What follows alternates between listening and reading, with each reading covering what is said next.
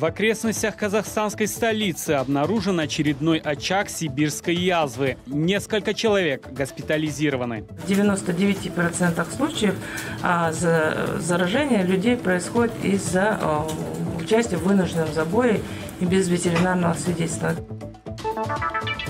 В Афганистане из-за крупного теракта отменены празднества в честь столетия государственной независимости. Век афганской свободы. Наша инфографика. Двое казахстанских альпинистов застряли в горах Тиншаня. Их товарищ погиб. Спасатели не могут подняться на гору из-за непогоды. Мой папа очень сильный человек. У него просто удивительная выдержка.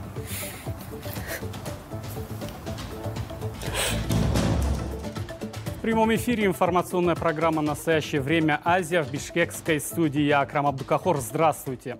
В Казахстане госпитализированы пять человек с подозрением на сибирскую язву. В больницу доставлены жители села Ольгинка Акмолинской области.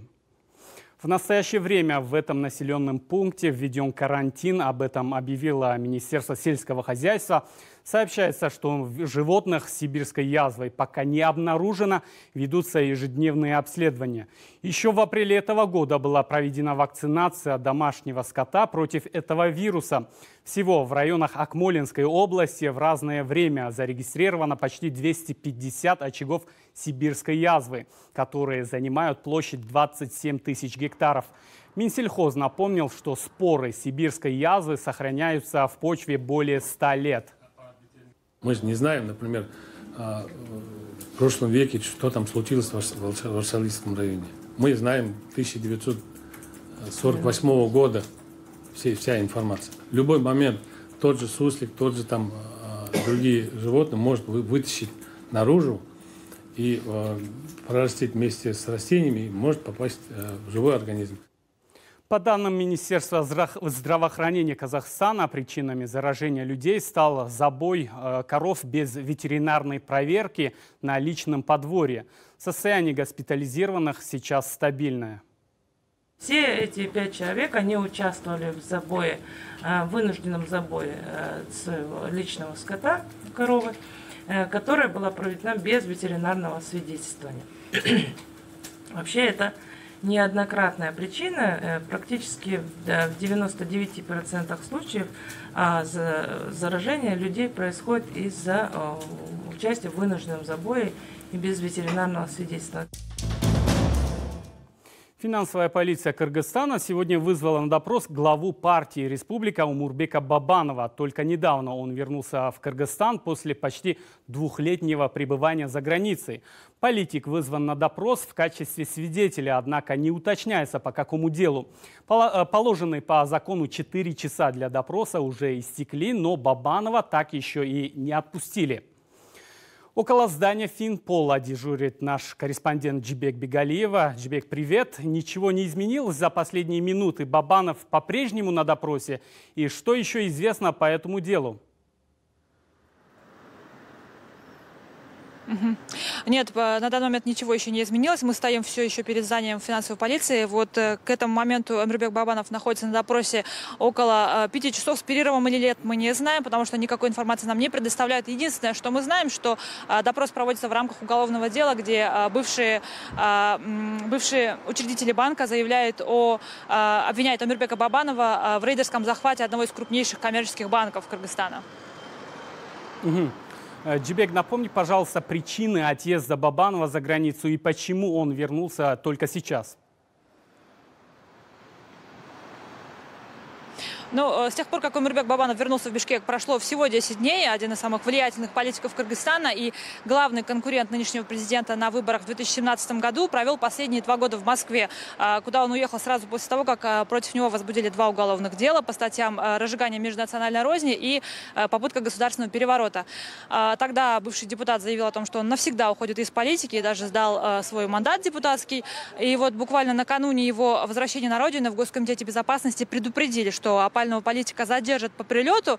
С тех пор в Госкомитете безопасности им политикам никак не интересовались, и это все стало причиной для выдвижения самых разных теорий, вплоть до того, что выдвигались теории о том, что опальный политик договорился с властями. Но вот как сейчас мы видим, его все-таки вызвали на допрос, но не в Госкомитет безопасности, а в финансовую полицию, и пока в качестве свидетеля. Спасибо, Джибек. Продолжай следить за событиями. Спасибо. В Таджикистане за последнюю неделю цены на авиабилеты в Россию возросли как минимум в два раза. Эксперты связывают это с началом отъезда таджикских студентов в российские вузы. По различным данным речь идет о 22 тысячах человек. Люди сильно недовольны, а в авиакассах говорят, что им надо было заранее позаботиться о покупке билетов. Подробнее об этой ситуации в материале наших коллег из радио УЗУДИ рассказывает Сергей Хитшфильд. Стоимость авиабилетов в Таджикистане резко возросла. Скачок цен наблюдается в основном на рейсы в российские города. Как билет в одну сторону может стоить почти 400 долларов? В условиях Таджикистана почти 400 долларов. В компании Сумон Air, единственной на сегодняшний день таджикской авиакомпании, осуществляющей полеты из Душанбе в Москву, говорят, что цены уже перешагнули за 4000 сумани. Это примерно 425 долларов. А в пунктах продажи авиабилета вылет в Москву на 21 августа предлагают за 445 долларов. Продавцы утверждают, что скачок цен произошел из-за таджикских студентов, которые уезжают в это время учиться в Россию. Цены так таковые не подорожали. Билеты по тем же ценам, но нужно было выкупать заранее. То есть у нас студенты и те, кто же планировал лететь конец августа, начало сентября, они уже выкупали в середине и в 20-х числах июля. Заранее брали билеты, это было еще до праздника, даже до Ида, вот до Курбана, цены стояли по 2170 сомон свободно. Со скидкой мы даже 2120 продавали. Из-за колебания цен на перелеты в российские города некоторые граждане вынуждены отказаться от своих первоначальных планов. Должен был поехать в Россию на три дня, не получается. Финансовые возможности не позволяют. Пока съездишь домой за деньгами, вместо тебя продадут билет другому. Некоторые уже привыкли к причудам таджикского рынка авиаперевозок. Все зависит от работы. Если там есть хорошая вакансия, то расходы на перелет можно отбить за первый месяц работы. Резкий скачок цен на авиабилеты из Таджикистана в российские города, как правило, совпадает с оттоком мигрантов весной и отъездом таджикских студентов на учебу во второй половине августа. Однако в регулирующих органах утверждают, что причина дороговизны авиабилетов связана с ценами на топливо. Государство полностью импортирует реактивный керосин. Стоимость топлива в Таджикистане дороже, чем в других странах. Это потому, что мы завозим его из-за рубежа. Таджикистан не производит авиатопливо.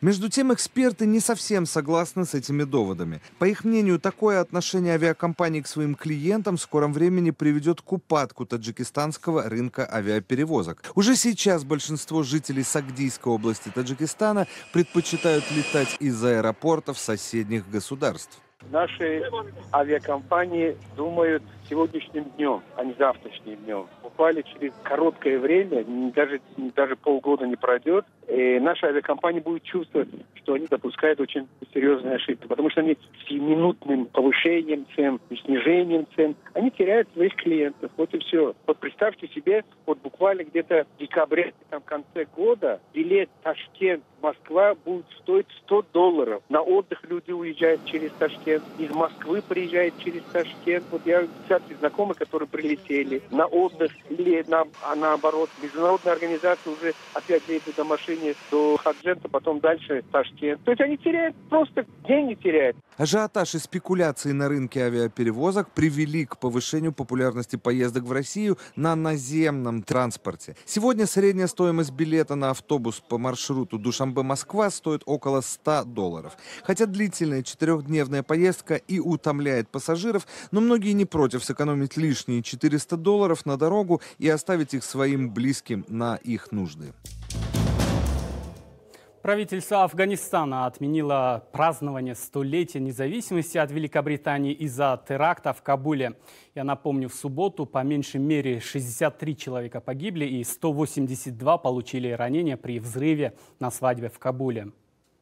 Как сообщили в Министерстве внутренних дел Афганистана, смертник привел устройство в действие во время праздничного приема в шиитском районе в западной части города. Взрыв произошел на фоне переговоров США с запрещенным в России движением «Талибан» о выводе американских войск в обмен на гарантии мирных переговоров с правительством Афганистана, которое поддерживает Вашингтон. Ответственность за теракт взяла на себя экстремистская организация «Исламское государство». Тем не менее, День независимости Афганистана отмечается именно сегодня, 19 августа, о 100 годах суверенного пути в нашем следующем материале.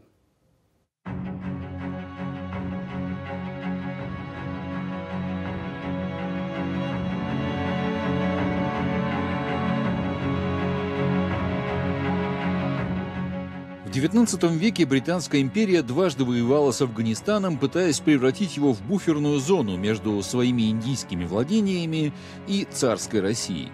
Это было частью геополитического соперничества, известного как «большая игра». В 1879 году по Гандамакскому договору Кабул согласился на подчиненное положение от Британии в обмен на ежегодные субсидии – Однако все изменилось в 1919 году после убийства эмира Афганистана Хабибулы хана. Пришедший к власти Эмманула хан провозгласил независимость страны от Великобритании и объявил джихад против Британской Индии. Так, в мае 1919 года началась Третья англо-афганская война, в ходе которой афганские войска перешли границу на западном конце Хайберского перевала и захватили город Бак, имевший стратегическое значение. Британия отправила туда две роты сикхов и гурхов, а также британский батальон. Королевские военно-воздушные силы наносили бомбовые удары по городам Бак, Даку и Джалалабад. Бомбардировщики Хенли Пейдж атаковали даже Кабул – Отбив Бак и Даку, британско-индийские войска вторглись вглубь Вазиристана, но столкнулись с проблемами. Набранные местные ополченцы либо дезертировали, либо переходили на сторону противника. Афганская армия воспользовалась возможностью и атаковала город Таль в Британской Индии. Войска подожгли продовольственные склады и взяли гарнизон в осаду. Британцы вызвали подкрепление и авиацию. Однако эмир Аманула, опасаясь новых бомбардировок, предложил переговоры. В июне стороны заключили перемирие, а 8 августа подписали в Равалпинде мирное соглашение. Несмотря на то, что военные действия продолжались всего несколько недель, в них погибли более двух тысяч человек. Британцы одержали тактическую победу, отбив вторжение афганской армии. Однако эмир Амануллах полностью вернул себе контроль над внешней политикой своей страны. В 1921 году он подписал договор о дружбе с Советской Россией – Афганистан сохранял независимость до советского вторжения в 1979 году. Смотрите далее в нашей программе. Двое казахстанских альпинистов застряли в горах Тиншаня. Их товарищ погиб. Спасатели не могут подняться на гору из-за непогоды. Мой папа очень сильный человек. У него просто удивительная выдержка.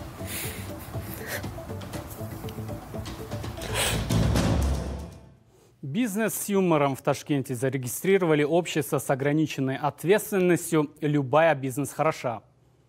Компанию зарегистрировали в минувшую пятницу 16 августа. Согласно данным Узбекистанского регистра предприятий, фирма «Любая бизнес хороша» будет заниматься оптовой неспециализированной торговлей. Уставной фонд фирмы составляет 3 миллиарда суммов, это порядка 330 тысяч американских долларов. Также известно, что единственным учредителем фирмы является женщина. Вся эта история интересна, конечно, названием новооткрывшейся компании. Дело в том, что еще в мае этого года градоначальник Ташкента Джахунгир Артык Ходжаев дал интервью в программе «Альтер Эго», в ходе которого отметил, отметил, что, цитируем, «любая бизнес хороша». Вы знаете, надо терпение. Терпение. Терпение дает человеку профессионализм. Хоть в этом любом сфере. Любая бизнес хороша. Любая бизнес хороша. нету там плохого. Я не могу говорить, это плохой бизнес. Ваш бизнес тоже хорошо, если хорошо работает. После этого сказанная им фраза стала крылатой, ею начали пользоваться многие узбекистанцы три раза снизились штрафы за нарушение ПДД. Снизить штрафы за нарушение ПДД готово правительство Кыргызстана. Кабмин после жалоб населения решил поддержать инициативу МВД. Высокие тарифы не, не продержались и года. Правда, не все эксперты согласны с тем, что следовало идти на уступку нарушителям. Дарья Тимофеева продолжит. Нарушения на дорогах стали обходиться кыргызстанцам в несколько раз дороже с начала этого года. Штрафы выросли до 300 долларов.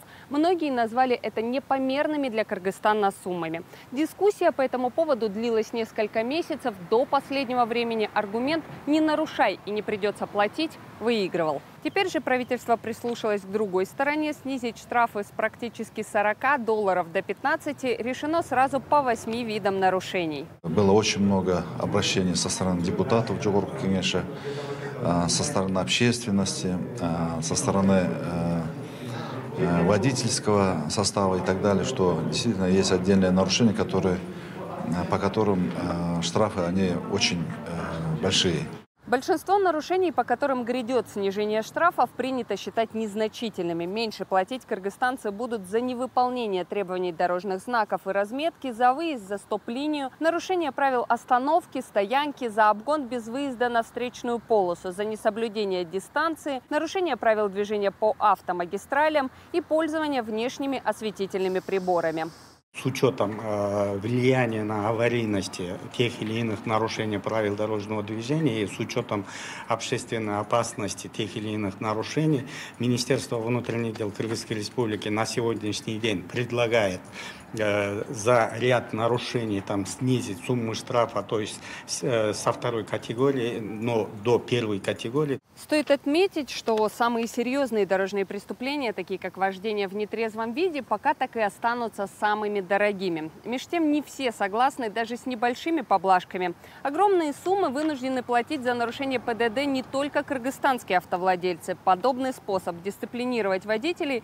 принят и во многих других государствах, уверяет эксперт Галина Давлетбаева. Ведь самое главное, это, э, направ... этот проект направлен на то, чтобы люди не нарушали э, правила дорожного движения, чтобы э, жизнь людей была сохранена. И здесь, когда идет нарушение ДТП, бывает же и со смертельными исходами, и увечья здоровью. Следующим шагом правительства станет разработка законопроекта о снижении размеров штрафов. В упрек властям водители ставят несовершенную дорожную инфраструктуру. Когда на трассах появится четкая разметка, в дорожных знаках уберут противоречия, а в городе построят парковки, тогда, уверены автовладельцы, количество нарушений снизится автоматически. Алматинские альпинисты не могут выбраться из снежной ловушки в горах Тиншаня в Кыргызстане. Трое спортсменов совершили восхождение на пик Победы, но, покорив высоту почти в 7 тысяч метров, не смогли спуститься обратно. И тут в горах резко ухудшилась погода. Известно, что один из них скончался от отека легких. Казахстанские дипломаты все время на связи со спасателями Кыргызстана, однако погодные условия все еще не позволяют вызволить застрявших альпинистов. Подробности э, в материале Шулпану Разбековой. Профессиональные и опытные альпинисты Мурат Утибаев, Андрей Корнеев и Александр Чечулин направились в поход еще 4 августа. На обратном пути сильный ветер сдул палатки. Спортсмены остались без еды и снаряжения. В последний раз Мурат Утибаев вышел на связь 15 августа, тогда и сообщил друзьям. Саша уснул навсегда.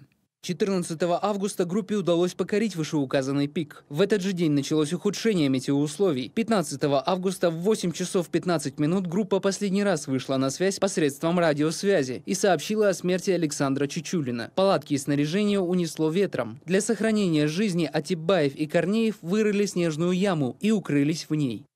Сразу после беседы с альпинистами их родные попросили помощи у коллег-спортсменов и обратились в официальные органы. Однако добраться до застрявших в горах альпинистов, как оказалось, задача не из легких. Мэр Алматы Бахыджан Сагентаев рассказал подробности спасательной операции у себя на странице в социальной сети.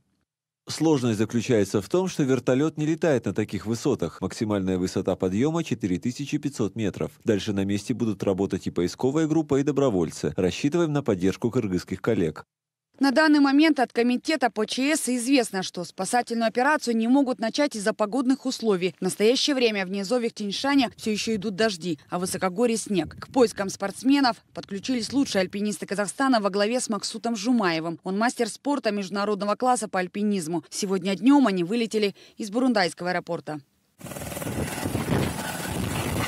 Дочь одного из застрявшего в горах альпиниста Мурата Утипаева тем временем не теряет надежды. Она верит, что отца и его коллегу удастся спасти, тем более ранее они уже проходили через не менее трудные испытания. Мой папа очень сильный человек. У него просто удивительная выдержка.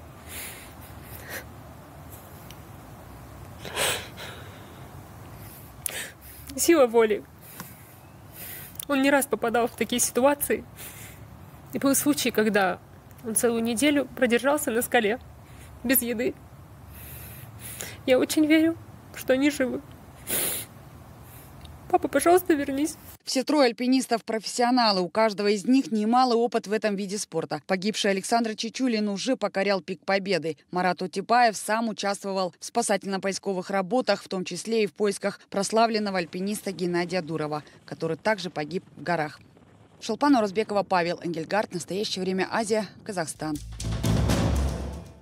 Более 80 домов в селе Бельсколь Северо-Казахстанской области не подключены к электричеству. Живущие рядом с административным центром люди говорят, что чувствуют себя словно в каменном веке. Местные власти сообщают, что средств для установки трансформатора и опор электропередач в бюджете нет. Репортаж Нургуль Алиной. Нам сказали, чтобы мы покупали столбы. Где мы их возьмем? Они столько тысяч стоят. Говорят, один столб 150 долларов. В 85 домах села Бесколь Северо-Казахстанской области нет электричества. После захода солнца окраина населенного пункта погружается в полную темноту. По словам жительницы Бесколя Жолды Саукимова, без света они сидят вот уже три года. Как в каменном веке живем. Никто и не скажет, что 21 век, судя по тому, что дома у нас света нет. Когда мы строили дом, нас не предупреждали, что не будет света и не будет воды. Нам об этом не говорили. Сказали, чтобы мы сами купили трансформатор. Он полтора миллиона стоит. Еще столбы нужно купить. С прочими мелочами это будет несколько миллионов. Жулдыс Саукимова говорит, что ее сын третьеклассник Диас учит уроки при свечах. Из-за этого испортилось зрение, школьник носит очки.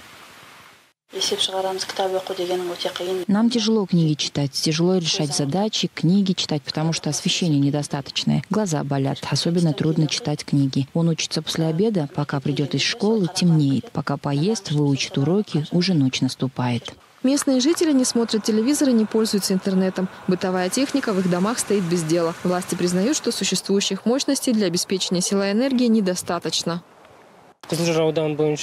Нехватка электроэнергии в Козылжарском районе связана с высокими темпами жилищного строительства. У нас в селе Бесколь есть новые районы. Их называют Санта-Барбарой. Там идет активная застройка. За последние годы численность населения увеличилась на две с половиной тысячи. Такие же проблемы есть в расположенных рядом с городом селах Пенькова, Белое, Прибрежное, Тепличное, Байтерек.